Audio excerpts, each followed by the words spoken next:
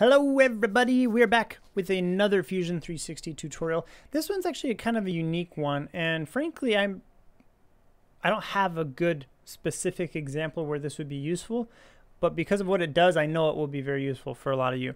Sketches are super important in 3D modeling. You have to have a sketch at some point to really transfer transition into modeling. And so whenever you can find a way to extract a, a, sketch or create a sketch, it's very, very valuable. And that's what we actually have today. Today we have a little Lego guy. And as you can see, it's actually a mesh. It's not a, a, a solid body. Um, and that's actually very important because for this feature, we'll drop down the create. It's down the bottom. It says create mesh section sketch.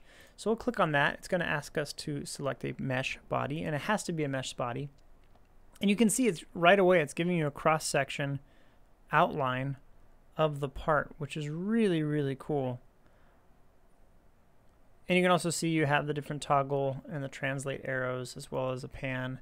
Not really sure the purpose of the pan um, in this case because just have the plane set up.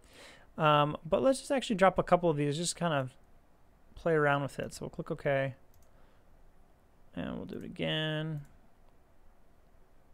Let's go over a little bit more. Yeah. We'll do it four times.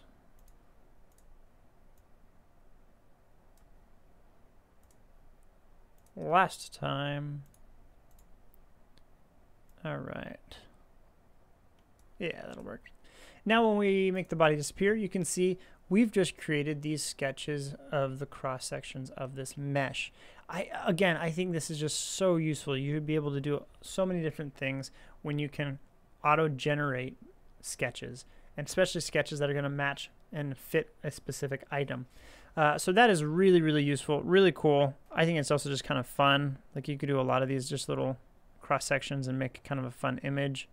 Um, laser cutting. If you do any laser cutting, um, it could be very, very useful, especially in a situation like that. Um, so yeah, if you have any ideas uh, beyond that of like what you would use this feature for, I would really love to, to hear them. Please leave a comment down below. If you found this useful, hit that like button. And as always, keep on modeling, and I'll see you guys next time.